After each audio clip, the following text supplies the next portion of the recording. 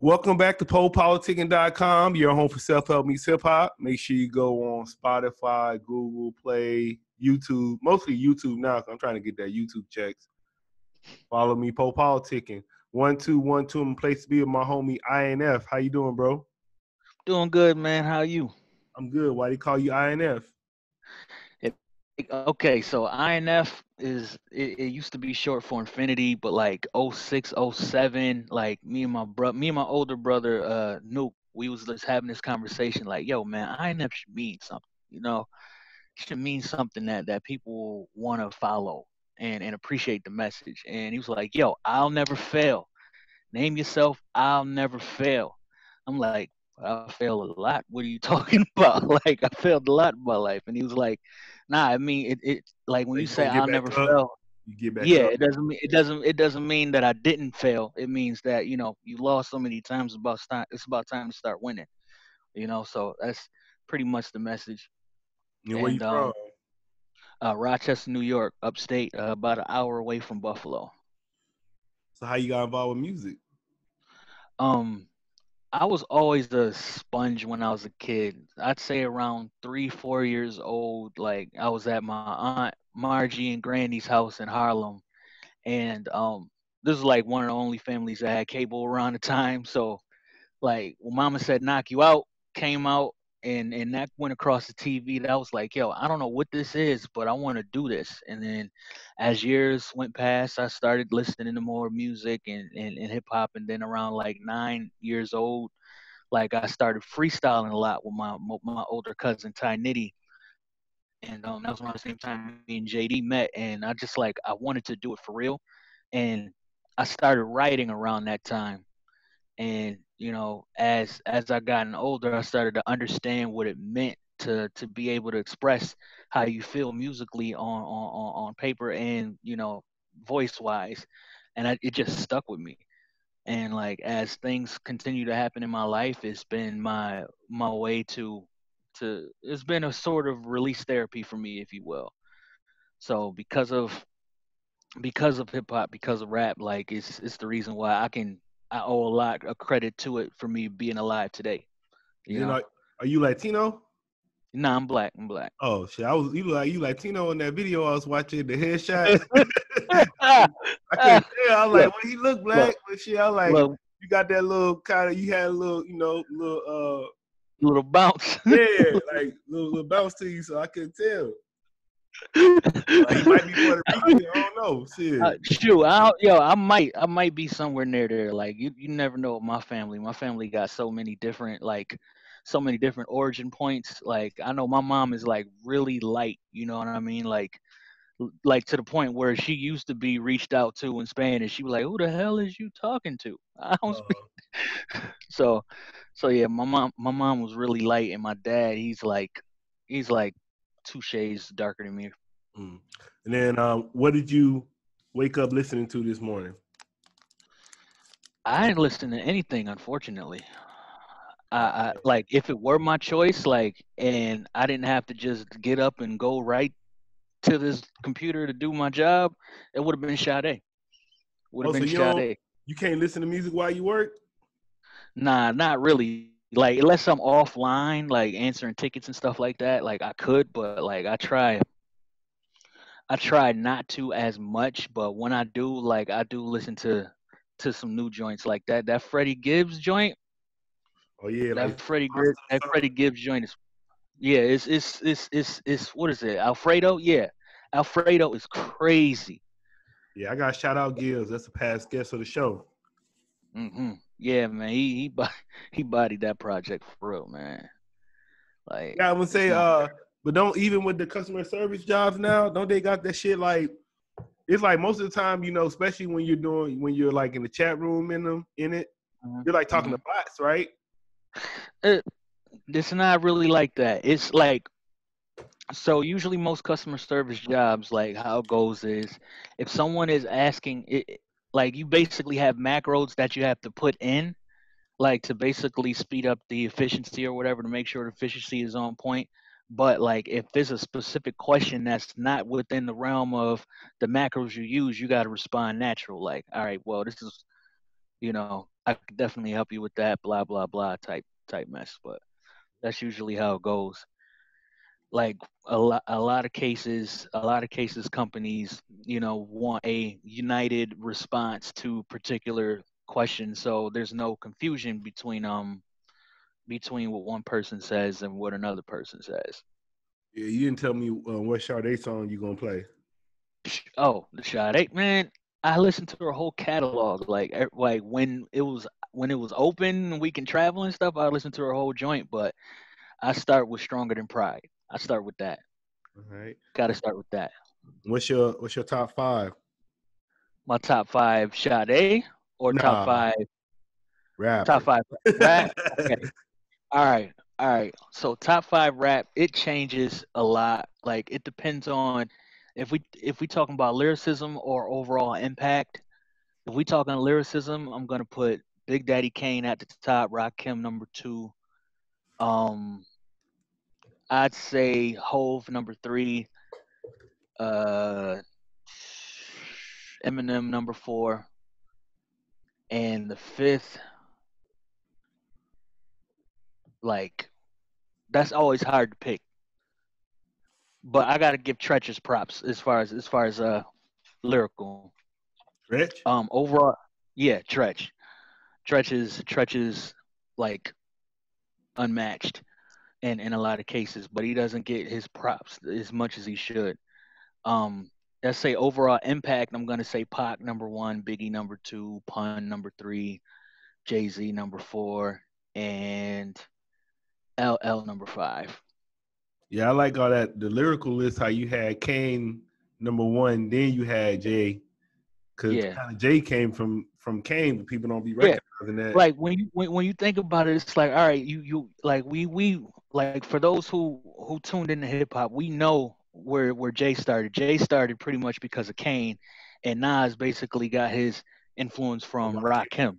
Yep. So those are the two those are the two pillars that really that really uh got you know should get the notoriety ahead of time. Like like Grandmaster Caz, Grandmaster Caz doesn't get his props, but you got you got the Sugar Hill Gang record that was obviously biting from from Grandmaster Caz and, and his crew. Yeah, see, and you so know, it's like seem like you a real hip hop head over there. Seem like you know a little bit. Seem like you know you a little bit, a, little bit. a, a, little bit. I still I still got more to learn, but like I, I I had I had no choice but to but to learn a lot in order to do this because it's like if you don't if you don't know where where this stems from, where this comes from, and you just coming out and doing this, then I don't I don't see you I having a real. That, uh, I interview people that don't know and don't care, and they just doing their thing, and they sometimes some of them pop like that. They don't, but I feel yeah like they do. You can't beat like you gotta know like any. To me, I say any industry you you are in, if you understand the history and the culture of the industry, it's gonna help you more than just going in there blindfold. Yeah, yeah, you, you you have to you have to understand. You have to study the greats to to to be better, you know. And it's like I'm not knocking anybody who's doing what they doing now that doesn't have that knowledge of history, and most they're most likely gonna blow, unfortunately, with the with the, whatever trend is is hot right now. But like for me, like it's my journey is really about staying true to myself, also also making sure that I make dope shit that people can feel and and and understand from a universal aspect while still being myself and while still making sure that I'm I'm lyrically I'm lyrically where I'm supposed to be and paying homage to those before me because a lot of this stuff is basically like a lot of this music like when it comes to lyricism you know this stuff has been said before you know like on on a whole bunch of albums before. So it's really about we we really the remix culture right now, and you know the sooner I feel like the sooner folks realize that you know we're we're just modifying the style or simplifying the style depending on which type of uh, music, which type of rapper you want to be, then it is what it is. Well, I've been saying that's why as a rapper I feel like you always got to add your story to it because if you add your story to it, it ain't no remix. It's your story. you know what I'm saying? Exactly. Exactly. And it's like you know, this, as each day passes, the story continues. So it's like as as long as you're still breathing on this earth, you can talk about what's going on currently, what's been what happened in your past, and what you foresee yourself as doing in the future. So what's know? your story? And so my story is, uh, you know, I was born in a single parent household. You know, that story is you know, often the beginning. Dear mama. Dear mama. Ain't no woman alive that can take my mama place. But um, so my mom had three kids, um, um, and I was the youngest of three. Um, my oldest is eight years older, uh, uh, older than me, and since dad wasn't there, he was pretty much the father figure that you know I had to tap into, and he was too young to be a father figure, but he he knew he had to basically lead the camp. Um, my second oldest brother on my mom's side, um, middle child, he passed away in 06. He was killed, and um, you know that real that that particular moment really like pivoted my life into into basically changing what what I want to do musically and what what angle I'm, i was trying to go for. Um, so pretty much grew grew in that. Um, on my father's side, I have like, um, so so, you know, before before my brother was killed, like you know, my life was, you know, knucklehead, just trying to be trying to fit in with some folks and and realizing that like those folks really didn't give a fuck about you as much as you know your day ones or your close friends who actually understand who you are as a person.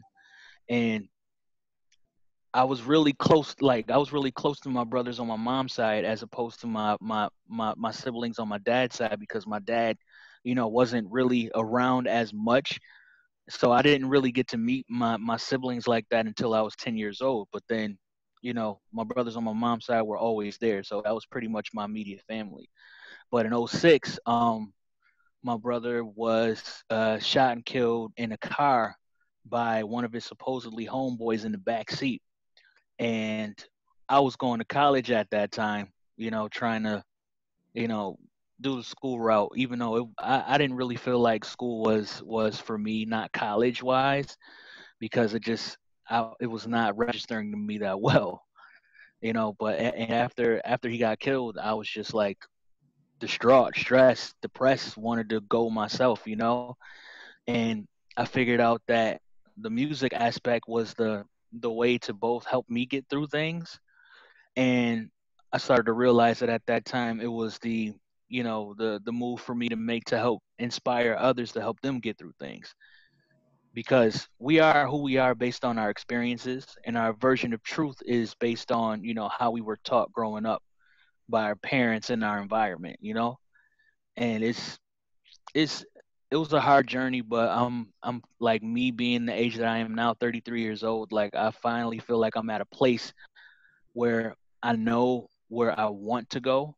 I know how I want to inspire. I know what I need to do musically to inspire, and just by being the person that I am, you know, continue to do good shit, be kind to people, and support those who who genuinely want to do better and care. You know, so that's where my message really comes from. Like it comes from my personal experience and you know, not everybody's experience is is is the greatest. And I'm one of those whose experience wasn't the greatest, but I'm here and I'm, you know, pushing forward, you know, after that. And I want you to how would you describe your sound to a deaf person?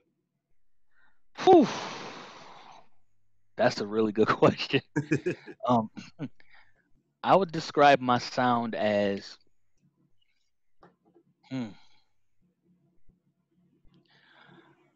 I would describe my sound as Remember I'm deaf. Yeah. Damn.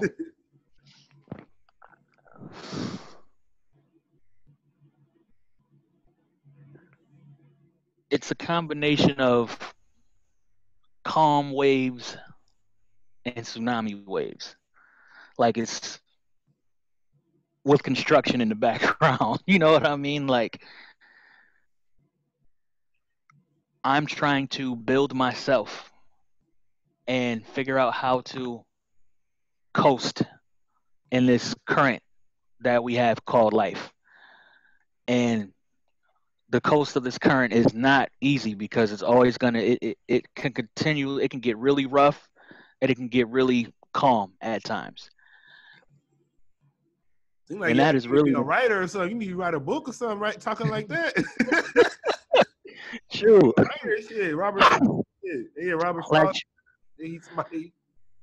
Yeah, I, like that's that's definitely something that I like to do. You know, later down the line, like even even now with this time that we have, like I've been I've been, you know, trying to figure out like what else I could do aside from music because I know that I I I have it as far as like music wise and and and and what we're doing as far as creativity wise. Like I know that that's going good, and and and and people are starting to, you know, gradually you know listen to me, and that's a beautiful thing. Um, but like I always wanted to write write books, um, write a um, write a like write a television story, like a show for television, like so many ideas that that bounce off my head that you know it's like why not? You know, you're on this earth one time, why not? You know, try other things while you're focusing on you know the passion that you have. Yeah, you gotta check Oh. out my IG. I just interviewed a producer. That was my last post. Oh, word. Yeah, he did that movie, uh, First Lady One and Two with Hoops. Oh, right, right, right. All right, Yeah. bet. I'm gonna definitely Yeah. check that out. Yeah. Definitely check that So, out. uh, what projects you working on? Um, right now I'm working on this project called uh here from here to infinity. It's uh, it's um, it's basically about the the the journey that from point A to point B. Like imagine yourself, you know, at a starting point, and that starting point you're at the the, the lowest part of your life, or let's say you start off with a hoopty, right? Like everybody, like everybody we know may know somebody or has had a hoopty before as their first car. Something where to get them from point A to point B.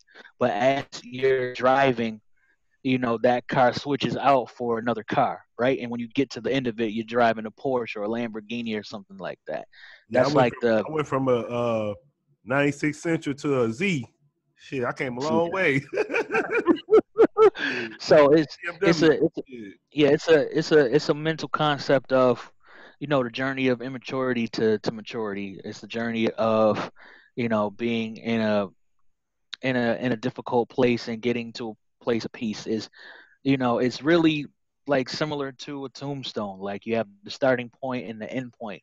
But what can you do um before your end point to make you know your legacy be infinite you know to make it so that people will never forget you? And I feel like artists like Tupac definitely did that, you know. And I feel like this is gonna be that particular album that that will define me, you know, in in this current place in that of, of life that I'm in right now. Um, I do, yeah. That's that's pretty much the concept, and we want it to be.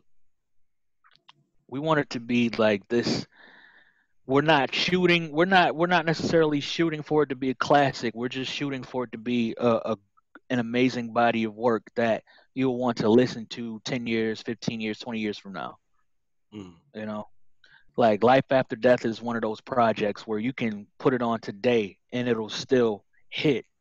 It'll still it'll still be. Hey, don't be talking like this. You better be dropping some heat. You talking like this.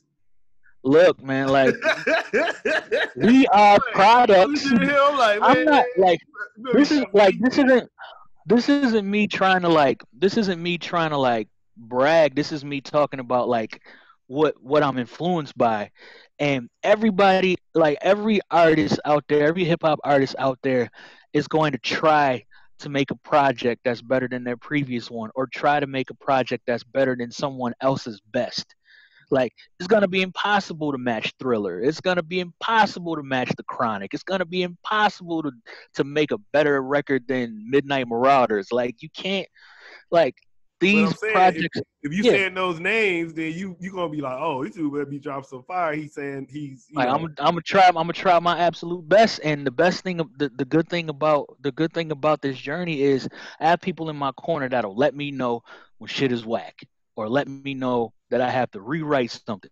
Like you gotta me- and I want to hear this shit because you talking. So I'm gonna make sure I hear this.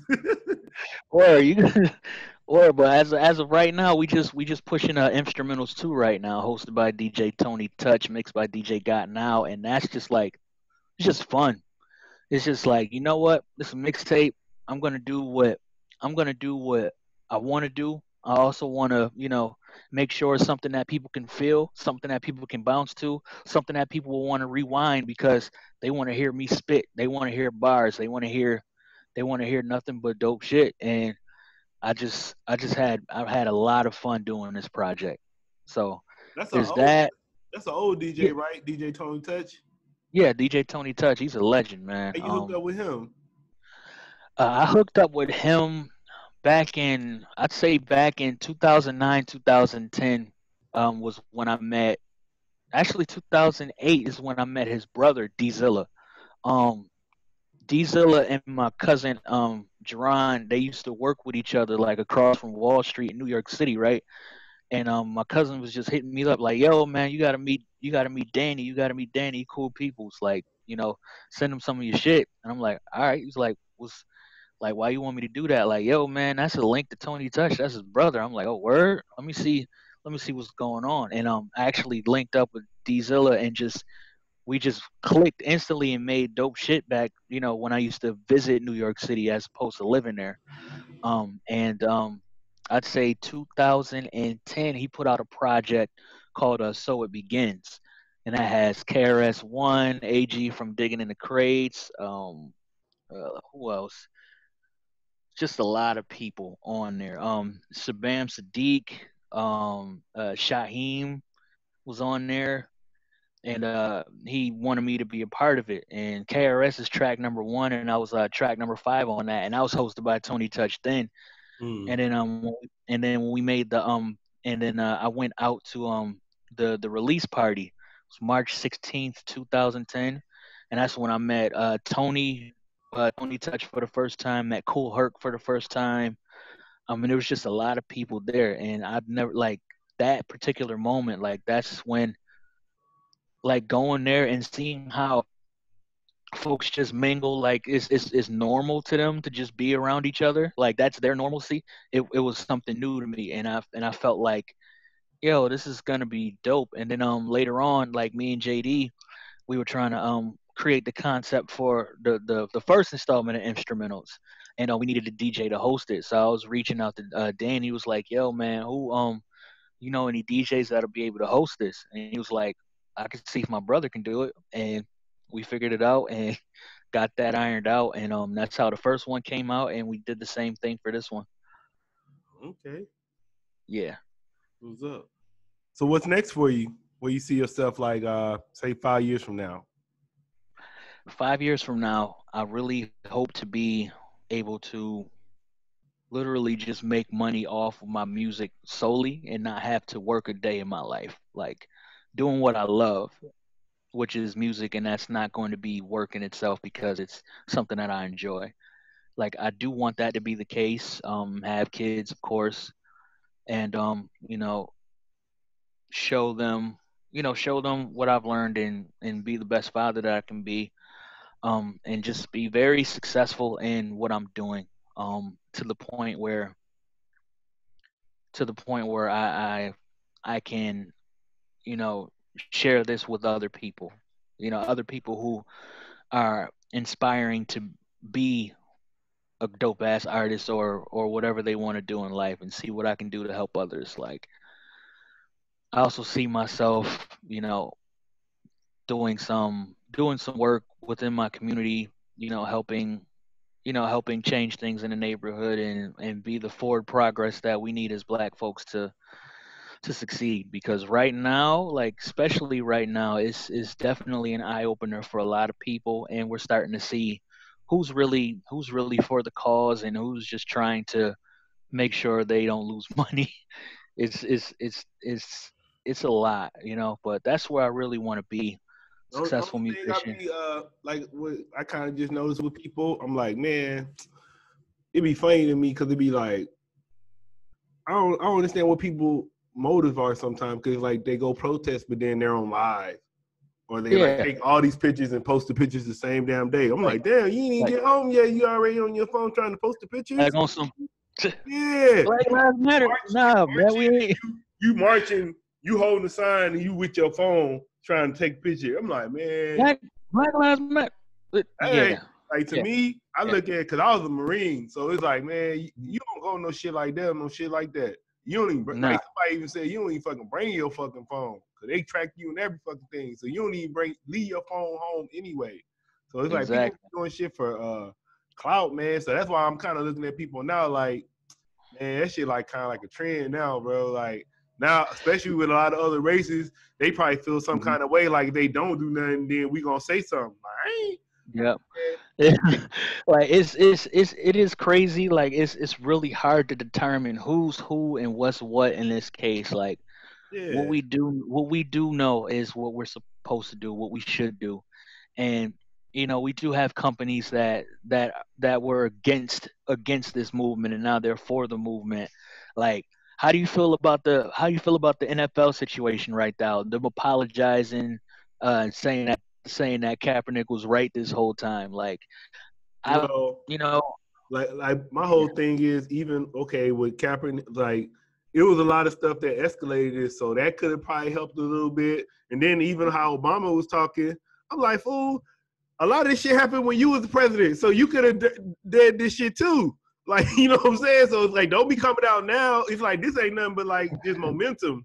That's all Yeah. it is. Because like all them like, cause you, you know, you ever saw that sheet and they got everybody that died yeah, all the yeah, black yeah. people, man, I guarantee you like 80% of them was when Obama was president.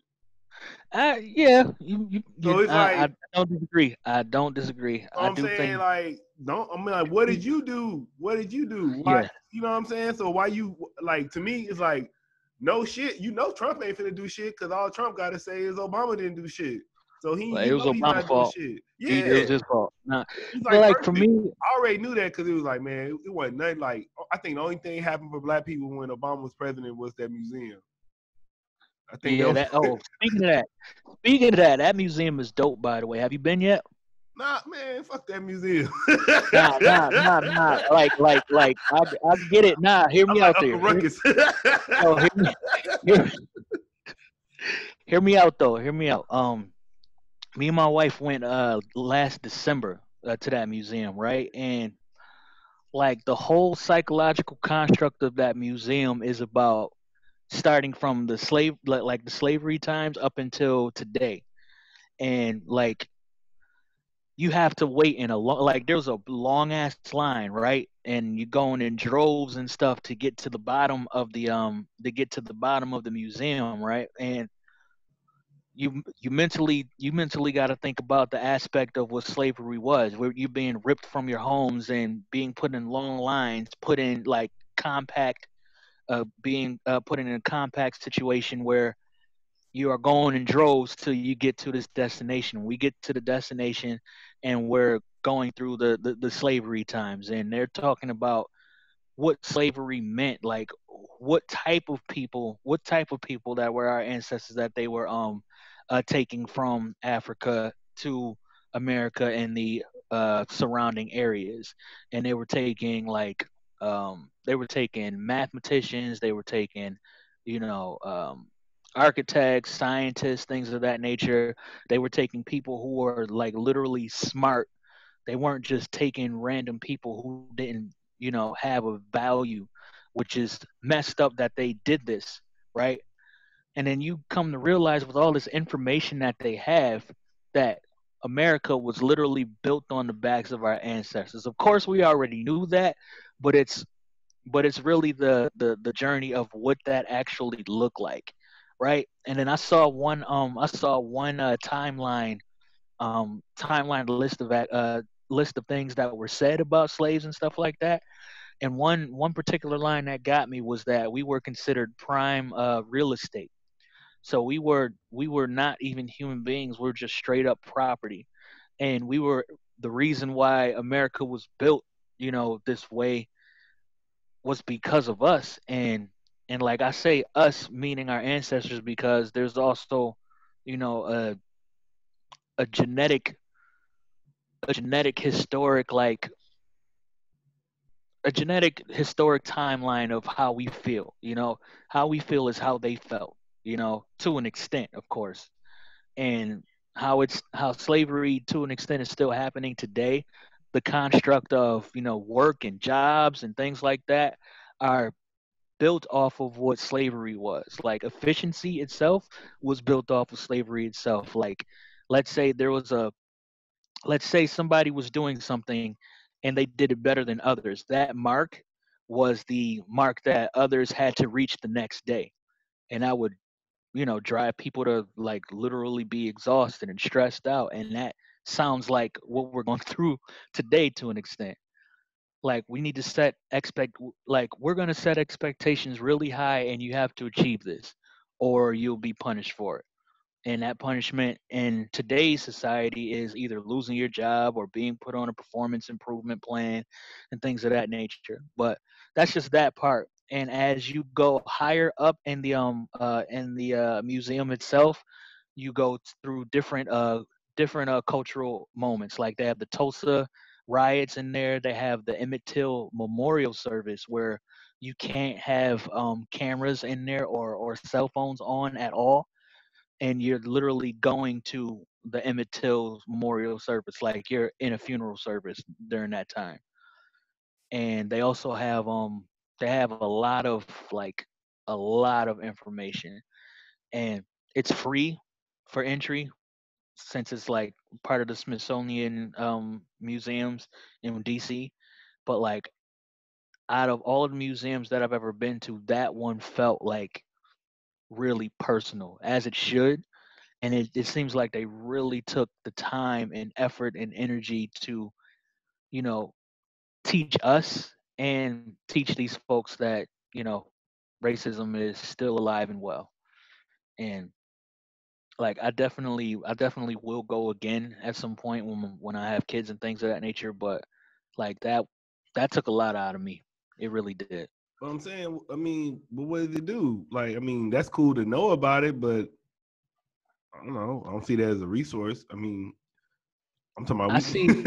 like I'm saying, what is it like? You know, like yeah, you Like- do it and you know it now. So, like I'm saying, that didn't help with all this stuff that's going on now. We still that came out, but we still where we, we at. So I'm saying we need Yeah, something that's gonna help us today. Oh, I don't I don't disagree with you on that. I was just basically saying that like like experiencing it is is is is one thing and once you experience it maybe you have the same point of view, maybe you won't. But it's it's really a it's it's really a journey in and of itself and seeing people that don't look like me and experience it like to see either either their minds are being changed or like also seeing like who's standing up walking through this and who's sitting down. Like i noticed that too like a lot of white people were sitting down taking breaks and stuff like that and we were just going through it like yo man we got to get through this whole thing. It'll it, it will really take two days to to see the whole museum Hmm. it'll take two days but i yeah i definitely get that and i don't i don't disagree on the aspect that we need more than just a museum we definitely need reparations and and just to be viewed as equals like consider us equal like for real we still don't feel equal like we want to we really want to but there's so many there's so many obstacles that we got to go through to get promoted to manager or get a loan or, or or or get a mortgage or even get a home you know just get even to rent something like to get a job. There's all there's these extra hoops that we got to get through like our names because our names look the way it does like they don't look at our resumes and stuff. So it's like it's a it's a complicated it's a complicated journey but right now it's it's we need we definitely need change more than ever. We always needed it but like we'll see we'll see what happens like do you believe these uh cops gonna are gonna get um uh are gonna get the the um convicted Mm. They probably will just cause of now, just to die down this shit. They probably will. But it ain't gonna be no like the main. It's gonna be like a lesser punishment for sure. yeah like like some like Shit might fuck around to get a misdemeanor. yeah they They gonna give that, give a ass misdemeanors. Everybody go, but nah, they got to do something just to quiet everybody down. So they got to do something. Yeah. Because if you don't do anything, it's gonna get worse. So yeah and it's like you know that. in like 2014 when Eric Garner and Philando Castile was killed and and and and names that are like just so so much to bear like as far as the the videos of them being killed and stuff like that. That happened like 6 years ago. And we're in a situation where the pretty much the same thing happened this time around. And the difference the difference between then and now is more people are out of work due to covid-19 and so that they can continue to protest right? Like mine as well you know? But what really gets me is what really is getting me right now is just the fact that so many companies are are trying to be for the cause when they were against it previously and I don't know if you've been noticing all of the people that are like losing their jobs and stuff like that because they said something racist in the past. Like, I find that like that's it's crazy because that's like the main topics right now. Yeah, I Like, saw. aside you know, um, you know what Indeed is, right? Yeah, yeah, Yeah, so I saw they post some Black Lives Matter shit on there. I was like, "Fuck that! Give us some of damn jobs." Sitting there posting that shit on there, like, "Oh fucking!" I be scared to put on black on my shit. I'd be putting opt out on shit or uh, decline to identify. I'd be like, "Shit." yeah, yeah. I think I think you put black, they don't hire you from the job. They probably be like, Exactly, man. Uh, uh, Pacific Islander, uh, African slash American or like Native American. Like, we don't like we know we're black, you know. So we usually check the, we usually either check African American or check none, so we can get to the next level. But it's like, come on, man. You don't need. What does this matter? But I was What- thinking, I was like, man, I was like, maybe if you put none, they know you black. So I was like, I'm gonna start putting two races or more. Yeah, yeah. Because let's be real, like we probably are more than two races. Yeah. Like we probably. I am from my 23 me shit. My 23 me said I got uh, like 13 percent uh white, so I be claiming that shit sometimes. you know, the only reason, I, only reason I claim it because I did my answer. I did the uh the uh, I did the 23 and me. So the 23 and me was saying I'm related to Nelson Mandela and um Pharaoh Ramsey. That's why I be using that. Oh, that's what's up. That's Yeah, what's but- up. You but then I royalty, B. I was doing the uh I was doing like the the family tree, the DNA one, the family tree, and I went all the Yeah. way back to like uh, cause it said the 23 and me was saying I got like 13% white. So I went all the way back to like a Baron. I was like, damn. Oh, really? Yeah, that nigga like my 23rd granddad or something. Wow. I was like, I was like, I gotta claim that. If he, if he white, I'm gonna claim that just to say I, I'm related to a Baron. yeah, I'm related to Baron. Yeah. Yeah, That's the kid. that yeah. Baron money. yeah, I know, right? I need to get some. Get that Baron paper, like for real. Nah, like, man. yeah, I gotta. What's up? Now I was saying, like, yeah, I gotta. I, I really do gotta check that. Like, the closest thing that I have to like, like someone that's that's of significant importance, like in my history, is uh my great great grandfather J.W. Thompson. He was uh in uh Rochester, New York. He was um responsible for uh, erecting the first statue of a black man in America, the the Frederick Douglass statue in Mm. Rochester. Um, him and him and Frederick Douglass used to communicate a lot, and um, he used to be. My great great grandfather was um, pretty much a treasurer and, and funded a lot of things in my hometown, and um, he was able to get he was able to get he asked for five thousand dollars to get the statue erected, right? But he was able to get three, and um to get that to get that uh up and running. And he was also responsible for um helping get um Frederick Douglass's funeral in Rochester, New York, um take place. Hey, So, so he probably, he that probably did that. He probably did that statue for like fifty dollars, huh? Shoot, we know our hustlers do it. Shit. Word, man. He, he got he got a lot of people involved. So like that right there is is is is great to know, you know, and, and I do want to know more. I do want to know more. So I'm definitely check out 23andMe. Like and uh we just started uh like from my great great grandfather's side, like we just started uh linking with uh the family that that he has, like on on his side that we didn't even know about. Um we found out about that like a couple months ago. So, you know, it's really about us trying to find out our culture too you know like what what our initial culture was like instead of it just being what we have now like a lot of our culture was adapted from other cultures itself or you know based on survival you know Yeah, I think like uh, I'm gonna say sorry to interrupt you, but I think especially Yeah. like while a lot of these racists protesting, I think it's because you got stuff like 23andMe and you got these family tree things. So then you realize like you got like it don't matter like you got like me. I said I know I got white people in my in my family tree, and I know they did great things. So what I'm gonna I'm gonna say? Oh, they was white. Fuck them. No, because I wouldn't even be here. No, So it's like no. Like once you start, I think that's why they always want you to like not stay on that black white. Because once you start digging and you figure out who you are, you can't be like that. You know what I'm saying? So it's like it's just knowledge yourself. They always say knowledge yourself. Yeah, like you never know. I could I could do 23 and me and find out that I'm like 90% Indian or something like that. You never know. We we never know until we find it out. Like we don't know or we don't know where we come from. We know that it's most likely Africa. but we don't we don't know where our family tree starts. You know, and that's the only way we can figure it out.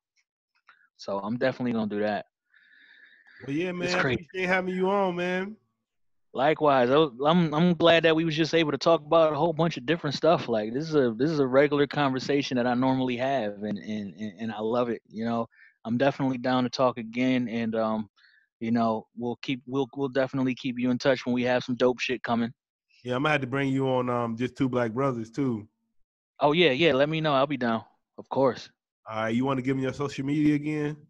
Yeah, my uh, my IG is Instagram. That's I N F S T A G R A M. My Twitter is Infcasso. I N F C A S S O. And my Facebook is uh, Inf of HCM. So Facebook.com slash Inf of HCM. And uh, our website is thisishcm.com. Um, you can also follow HCM is the gang on all social media platforms. It's the same. Uh, uh, Twitter, IG, um, Facebook, SoundCloud, uh, Audiomack. It's it's all HCM is the gang, and that hashtag as well. HCM is the gang hashtag. Um, you'll see pretty much everything we doing. All right, bro. Me- All right.